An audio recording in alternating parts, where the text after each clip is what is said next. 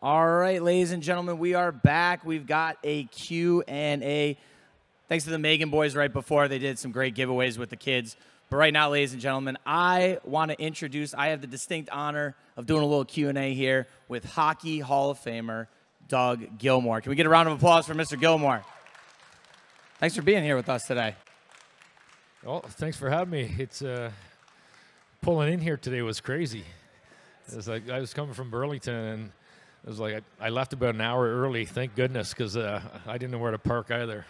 Well, I, I think you're a pro in both realms, right? Hockey and like traveling at this point. Yeah, I did a lot of traveling, obviously with the junior ranks as well for 11 years. So it's uh, something that uh, I've kind of slowed down on, but uh, like to spend uh, kind of pretty much a homebody these days. And and uh, we were just talking up here. My son plays in Geneseo, which is by Rochester, so I get to go up and see him play a little bit too. Which is fantastic, awesome, and I know you said it in his last year, so got to get to as many games as you can there. So uh, I know we only got a few minutes with you here. Uh, I'd like to. I, I, everybody talks to you about hockey, obviously. So I was almost going to go the collecting realm a little bit. So obviously we're at the Toronto Sports Card Expo. So for you, were you ever or are you still a collector of any sort? I guess I, I used to be a collector. Um, I've got uh, a Rolling Stones signed guitar. Um, I've got uh, some kind of handmade prints from uh, Eddie Vedder from Pearl Jam, and then my one of my nicest thing was uh, there was only hundred done. Uh, it was Michael Jordan's last shot, and I got one of those. Amazing. Yeah. Amazing. So yeah, you got. I lived pieces. in Chicago, so I got uh, to know some people. And, sure, sure. And uh, the right way. So real quick, I'm going into business for myself. Side note: Let's take the first three Pearl Jam albums versus Corduroy and Ten. How do you rank them? I'm. Uh, I don't really go by albums. I just go by songs. Fair enough. So. That's okay. Fair enough. It was it was pretty cool. Uh, again, living in Chicago, um, had a chance to go to uh, the House of Blues, and Eddie Vedder uh, opened up playing "Oh Where, Oh Where Has My Baby Been," oh. and uh, he opened up for the Who, and it was pretty cool that uh, we got to meet Roger Daltrey, Pete Townshend, and um, stuff that you, you never in a lifetime you think about it. So, and you know, on that note, obviously throughout your career, you've gotten those opportunities so, you know, when someone approaches you and they might be a big fan, maybe a little nervous, but did you have that feeling? Was there anybody like Adultery, uh, anybody like that that you met during your time that maybe you had a little bit of starstruck? Yeah, I'd say Eddie Vedder for sure. Um, it's uh, I'm from Kingston, Ontario, small town. Um, my parents were penitentiary workers. Uh, I was blessed to play a game, and um, that's all I got to say. Fair enough. So uh, your time here today. You know, how's it been? I know you came in, went straight to signing, but how many of these shows have you done now? Are you are you a regular here at this point? Um, I I usually do one or two a year. Yeah. Um, not too many, but uh, as I just mentioned, Chicago. I get to go there next week for one of these shows, so I get to stay overnight and see some friends. So it's going to be good. Oh boy, yeah, that'll that'll be a good time for sure. So you know, when you get to do these type of things, uh, do you have the time, or do you make a little time maybe? To kind of walk around the floor and maybe see if you could find some unique pieces that you haven't seen? I, I'm not going to purchase anything while I'm here, but it's always great to walk around and see what uh, c- collectors have, and and uh, I don't know, it's it's something that if you're into this, and I am. So uh, again, this is something I grew up as a hockey fan too you know, growing up watching Bobby Orr, and I'm sitting in the back with uh, Gerry Cheevers. I, was a Boston fan because I wore number four growing up. So number four, Bobby Orr. Number four, Doug Gilmour. It rhymed, so it worked. uh, you know, and so once again, you say you have the Michael Jordan, you have the Eddie Vedder kind of stuff, and I know now modern uh, jersey swap you see in football, and that has become pretty popular. But yourself, over time, playing the years that you played, you know, was there ever anything from guys that you played with or against that you were maybe like, hey, can I can I grab that after the game or anything like that? We we never even thought about that in the days because you know you're playing against a team. Yes, you want a Wayne Gretzky stick or a Mario Lemieux stick or something, but uh, yeah, it was pretty. Uh, there's different times. I don't think you're going to ask for a stick if uh, the game didn't go that well.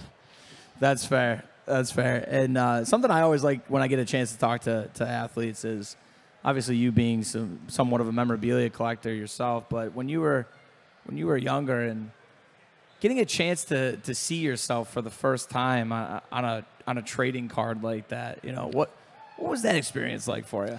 Yeah, it's uh, surreal because I grew up collecting cards as well, and I know back in our days we used them, put them in our wheels. Yeah, the bikes. Oh yeah, bike spinners, and so uh, my first card, yeah, it was it was pretty amazing. And as time went on, and the card companies got bigger, it uh, if they made a card, we'd get 500 of them. So you get, so I've got probably about 10,000 hockey cards sitting in a hockey bag in my garage. They're, they sound like they're in the safe spot. they are. They are. I slowly go through them, try to sign them, and just keep them for the kids uh, when I'm gone.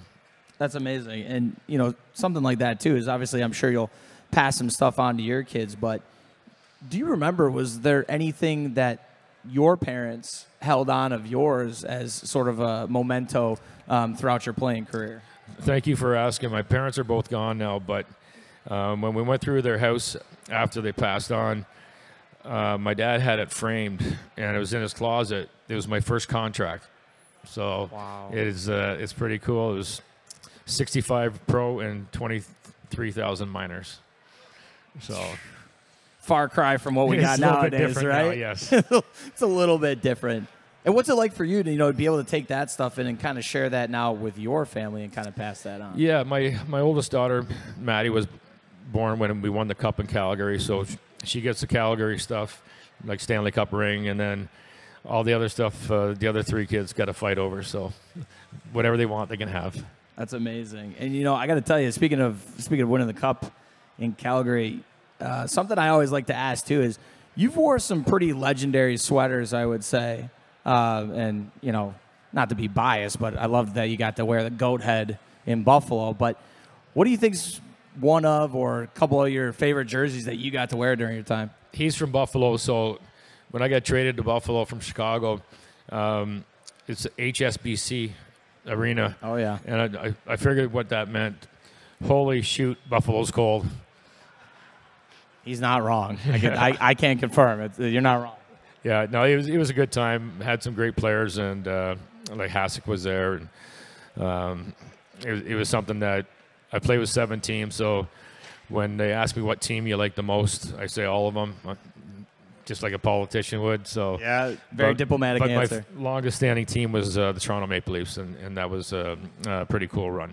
Yeah, absolutely electric sweater too. Obviously, it's classic.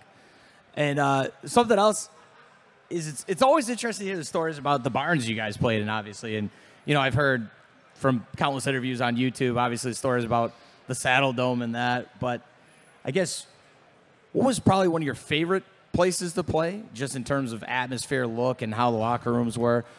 But then on the opposite end, what was the one that was like, oh, we gotta go, we gotta go in there tonight?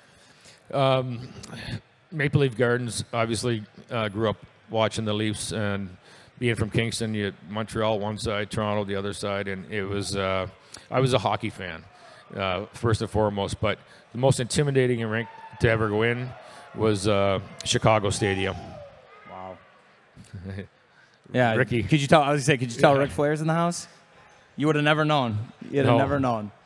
Um, and I know we only got a few short minutes here with you more. So something something else is obviously you at defense, but for you, what's a team like a dream team that you would want to build around you, past or present, that you would like to build out your starting six? Yeah, that's a that's a tough call. Um, It is. It is. I think a dream team for me um, was playing '87 Canada Cup with Gretzky, Mario, Howard, uh, Ray Bourque. The list goes on, and to be a part of that and learn from these guys was uh, something that I'll never forget. Absolutely.